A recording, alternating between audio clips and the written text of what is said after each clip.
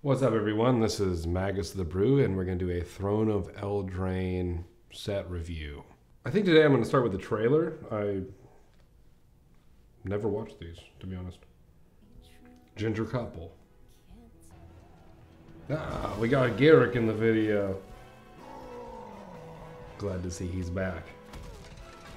He's either on his way to strangle women,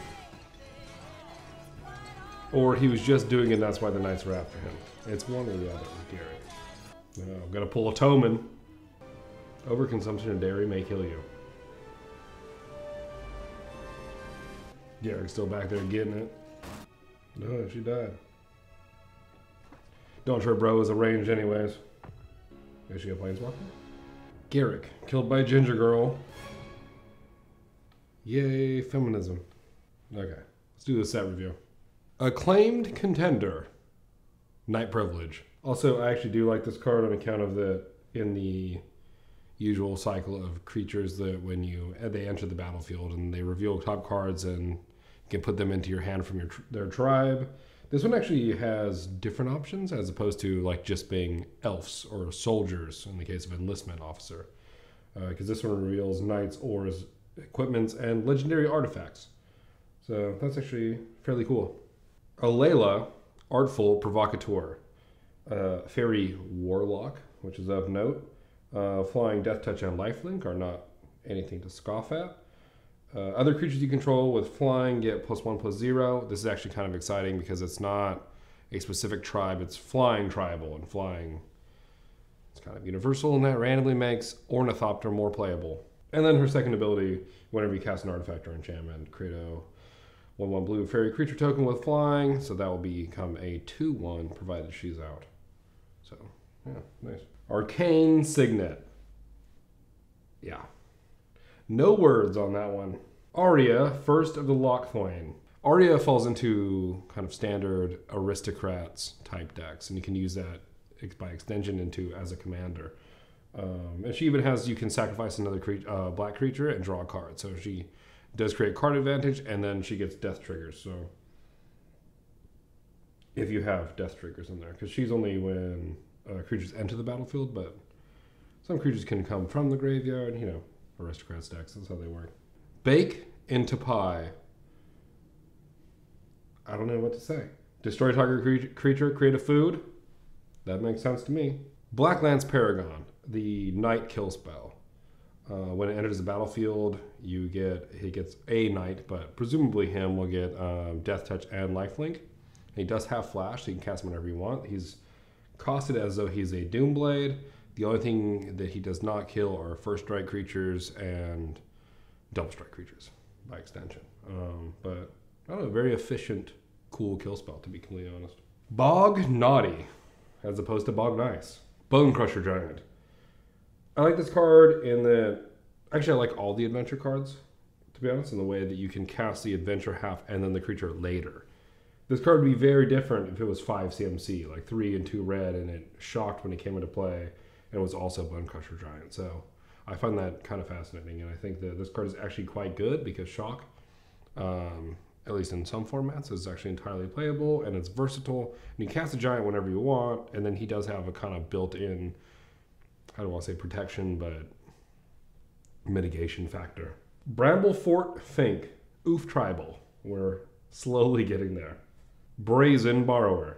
Uh, this card is another adventure card, um, but it has a bounce spell on it in the adventure half, and then it's also a flash flying um, creature. So, and it's costed very exactly the same as um, Vendilion Clique with the same power and toughness with flying and flash, but instead of hitting um, where you can cast in your draw step for uh, advantage, this one has a bounce spell. So I actually think it's quite cool. Realm Cloaked Giant. Uh, you get a board wipe for five, which is good. I mean, I don't know how many people are playing Giant Tribal. They are not the most uh, supported creature type. Uh, they're getting there though. We have seen more giants. The giants are definitely coming, but not not quite there yet. And then you get a uh, seven seven vigilance for seven. So yeah, not bad. Cauldron Familiar.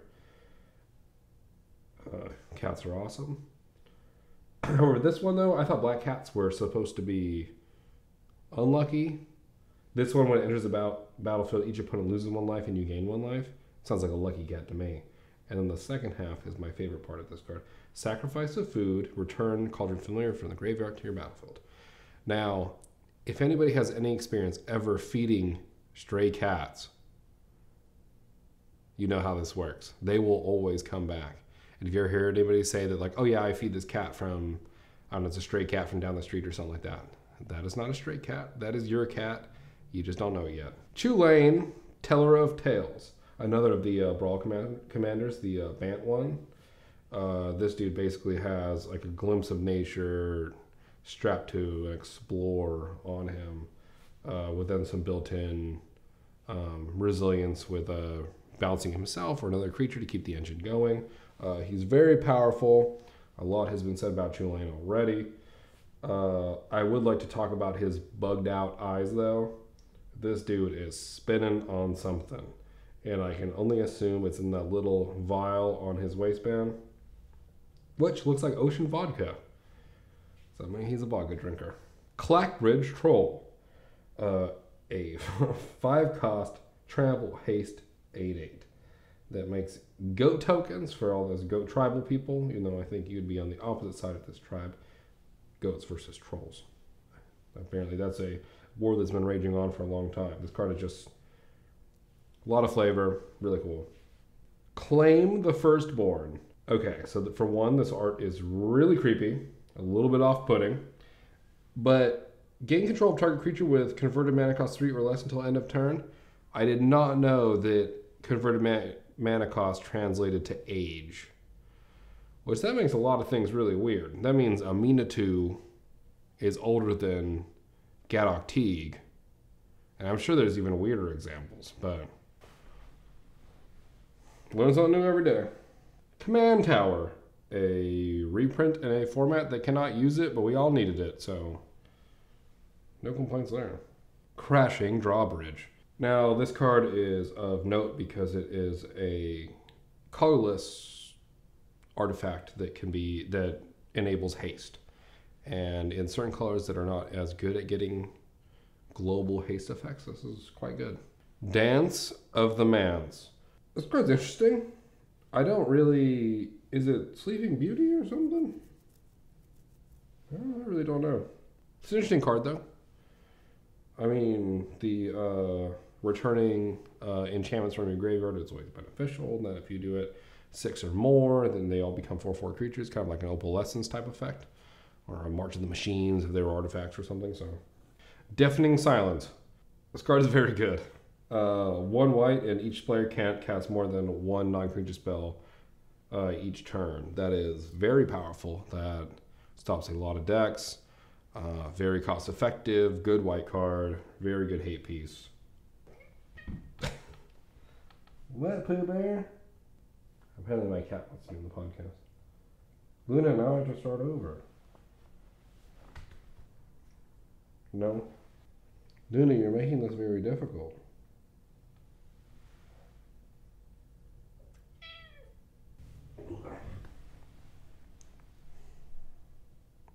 Say hi to the camera, Luna.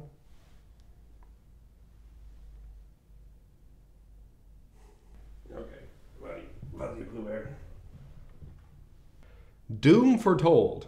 Now, this card I find kind of completely confusing. If everybody sacrifices a non land, non token permanent card, then it goes back to you, and then you neglect to pay, do you then subsequently discard a card, draw a card, gain two life, and lose two life? Or, yeah, it doesn't matter.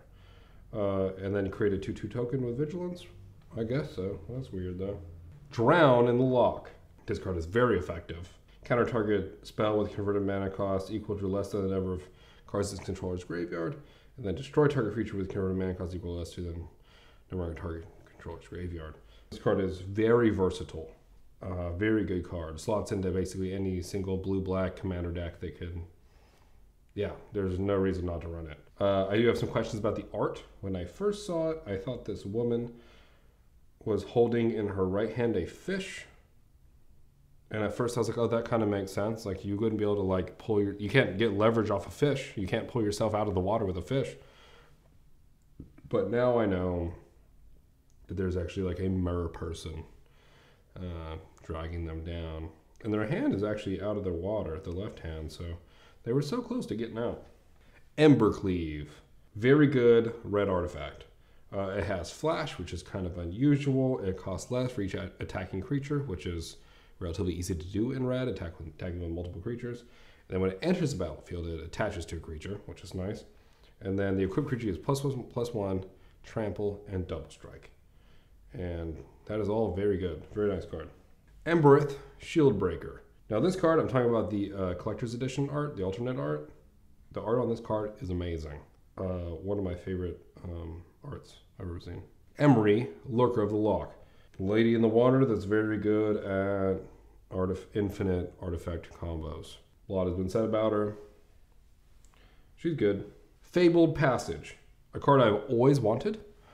Uh, I think that I know Modern Horizons had um, Prismatic Vista, and I was very happy with that card. This one has no life requirement, but there is a um, you have to meet certain requirements for to come into play untapped. But very cool card. Always wanted these. I always wanted a better Terramorphic Expanse. We've had Terramorphic Expanse forever, so these are always nice. Faeburrow Elder. This card is basically a revamped version of Bloom Tender. It's basically just Bloom Tender plus one more color. This one actually does get buffer, uh, provided the uh, you meet color requirements among permanents.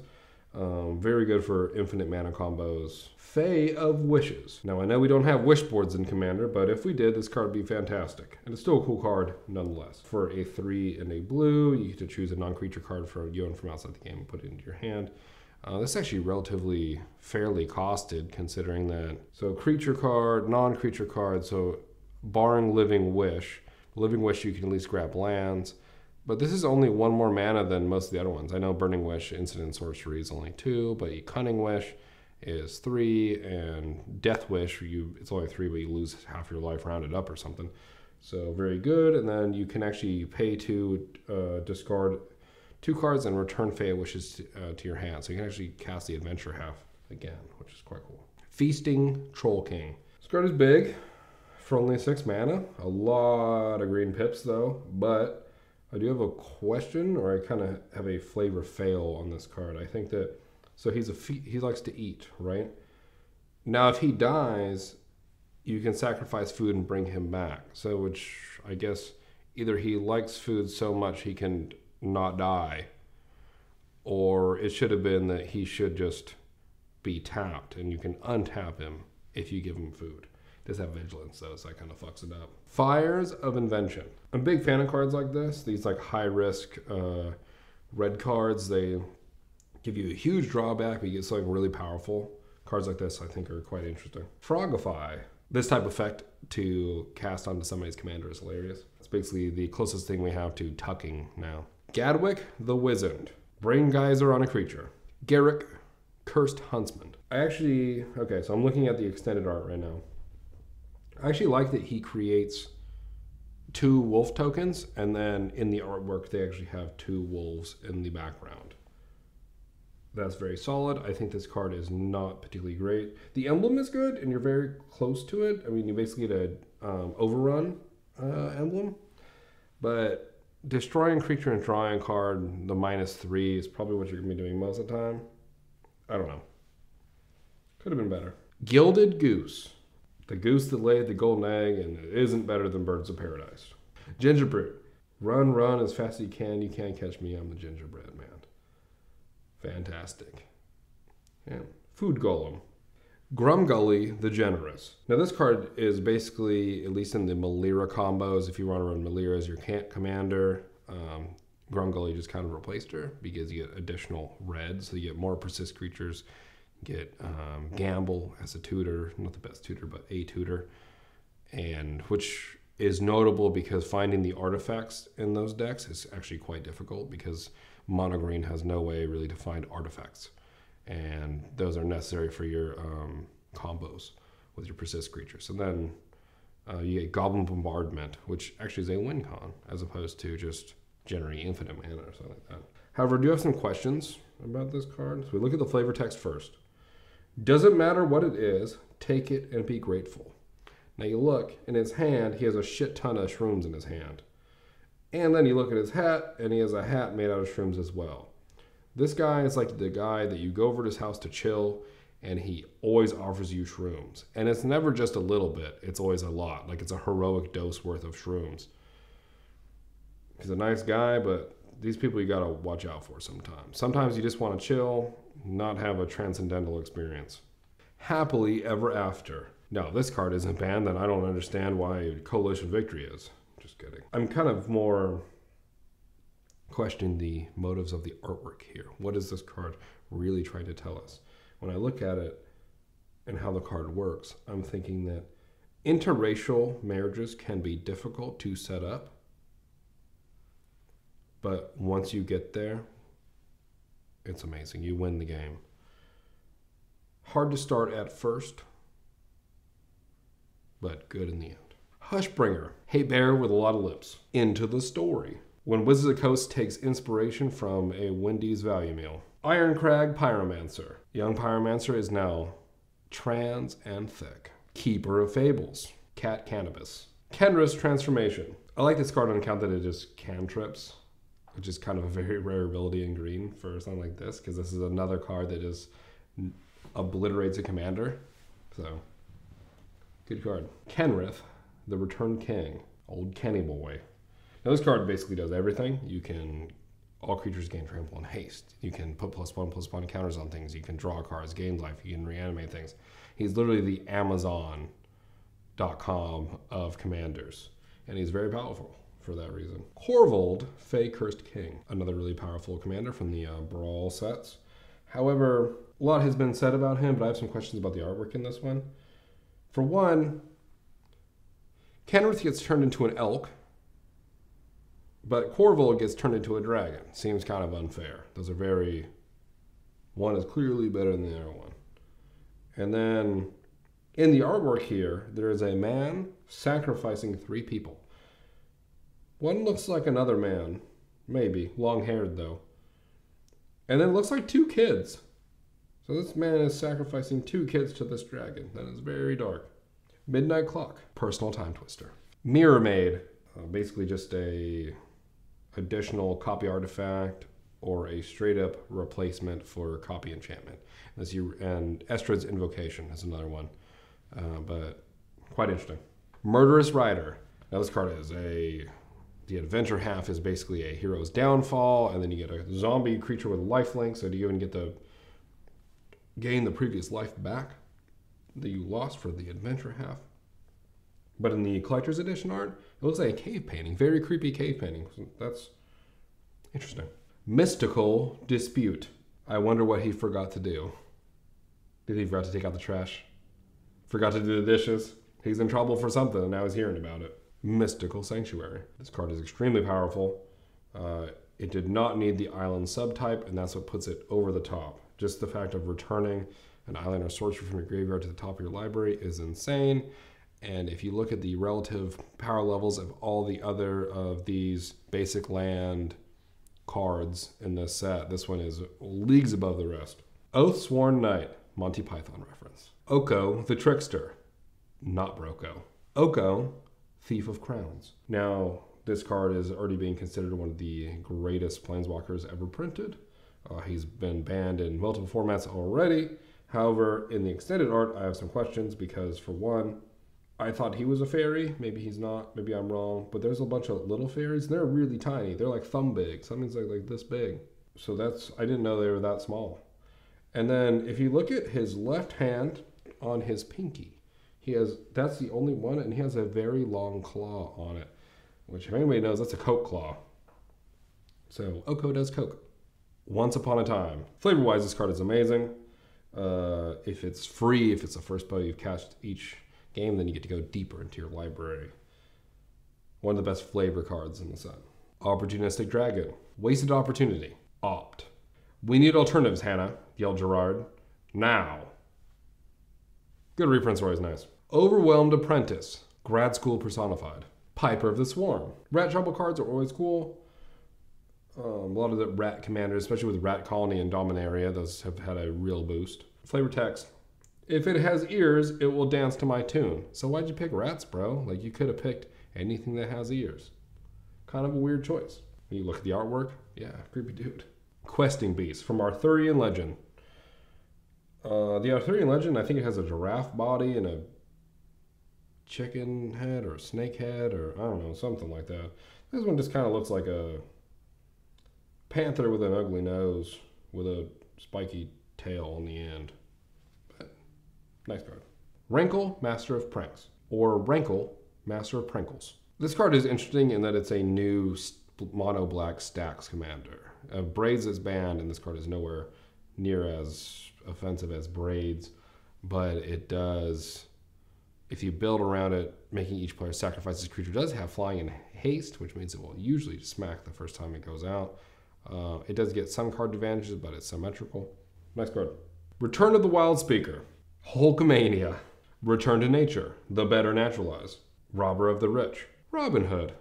Uh, and I like the fact that the stealing from the rich part is embodied in the a number of cards in a player's hand. I had no idea that cards in hand equates with wealth, which is kind of interesting. Everybody starts off the same unless you have to mulligan. I guess that's been dealt a shit hand in life.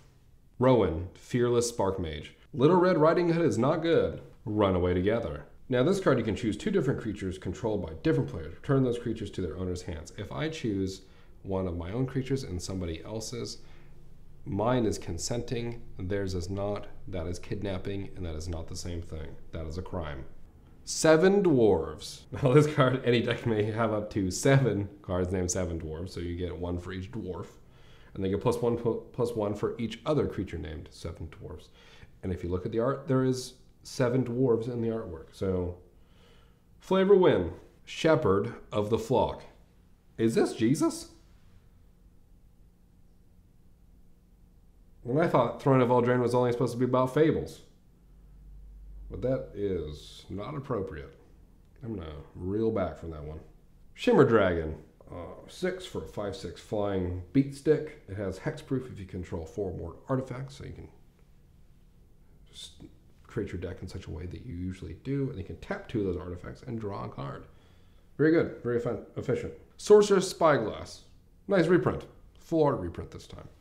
Uh, I know it's a relatively new card. It came out in Ixalan, but so worthy, worthy, worthy reprint. Steelbane Hydra, Turtle Hydra.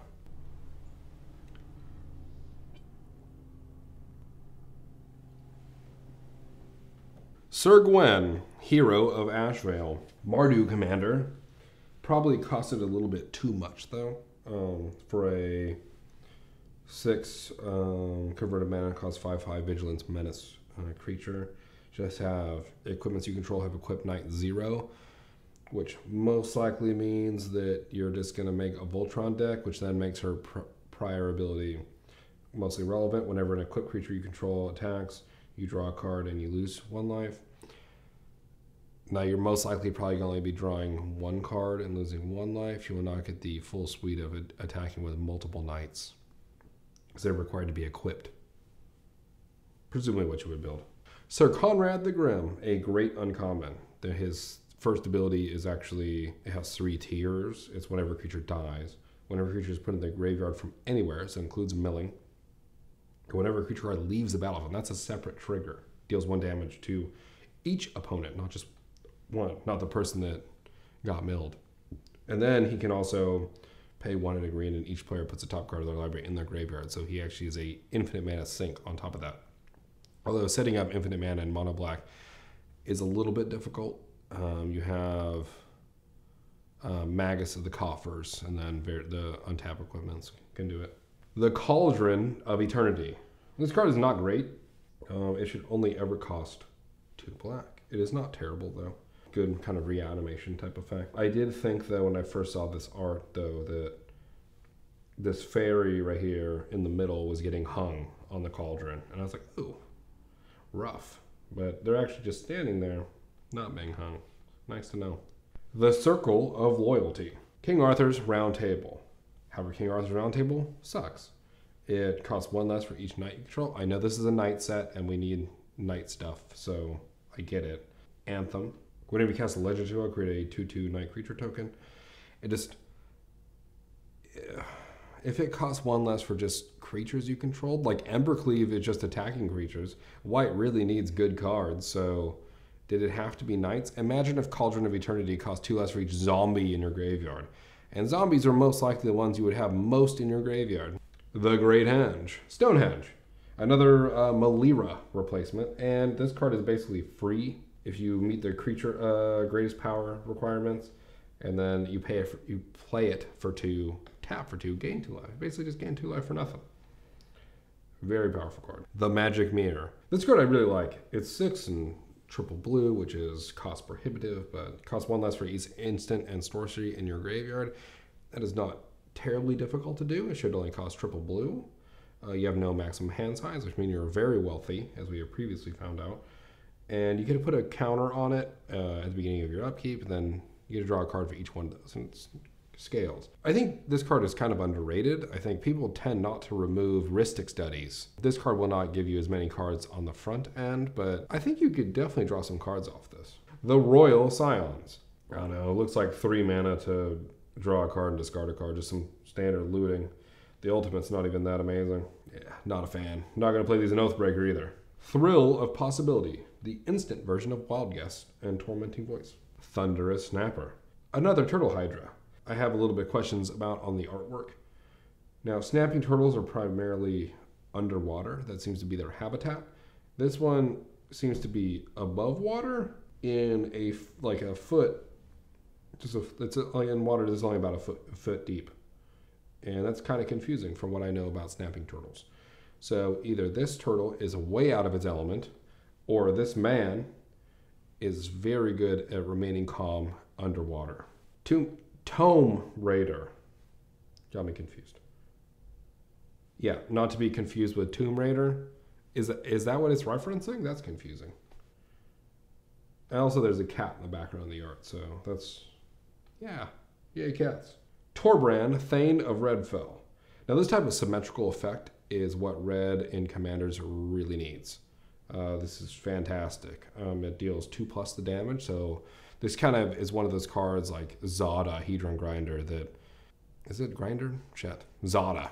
It made a lot of really like useless red commons viable in Commander. Like this is the the deck that really like pushed those together. And I think that Torbrand kind of has those too. Like I'm sure there's some really cool red cards out there, like one red deal one damage each opponent, maybe. It's like a sorcery or something and I think it makes certain cards a lot more playable. Vantress Gargoyle. Ghoul Caller's Bell on a creature. Uh, it's kind of nice. It mills, which means it supports itself because it can't attack unless an opponent has seven or more creatures or cards in their graveyard. Yeah, I like this card. Weapon Rack. Now this card, I understand the flavor that creatures getting a plus one plus one counter each turn. You know, they're grabbing a weapon. But it couldn't be cooler if it just gave out weapon tokens. Wish Claw Talisman. Old monkey's paw and a budget replacement, a very budget replacement for uh, Grim Tutor, another three costed um, tutor spell. I mean, this is probably even a replacement for Demonic Tutor, maybe. Because you always choose the opponent you give it to, so you can give it to somebody that's tapped out. Witch's Oven. If only this card was a free sacrifice outlet, that would be literally incredible. But it's not, it has to tap. It's not a infinite usable one. I know I like the flavor of it. You sacrifice creature, you create food. They're getting baked. I get it, but it would have been cooler. I mean, couldn't we just got this card in a supplemental set? I know if it didn't have to tap, it'd go infinite with Cauldron Familiar. Yeah, I know that's probably way too much, especially with the Aristocrats types uh, decks you could put with Aria or Yara. But that said, we could have just got Witch's Oven that cost three, fuck, maybe even four and just put it in a different set, like a commander supplemental set or something. Just do that. That would have been, that would have been really cool. Witch's Vengeance. When does a board sweeper become a genocide? I guess in this case, it's only minus three, minus three, it's probably just a hate crime. Worthy Knight. Apparently not that worthy. Whenever you cast a knight spell, create a 1 1 white human creature token. Why can't it just make more knights? Is it worthy because it has fandom because it has supporters. It has more subscribers. Doesn't make it a worthy knight. I thought knights were more of a insular tribe that they supported each other. You know, Yorvo, Lord of Garenbrig. It's big green boy. However, I have some grooming questions about this guy. He has a green beard and green arm hair. However, they are not just specifically green. They look literally like grass. So, do people mow his arms? Like, do, do they get mowed? Or does he shave? And what does he shave with? Oh, pressing, pressing question. That is the uh, end of the review. So, thank you for watching and making it this far. And I'll see you all soon.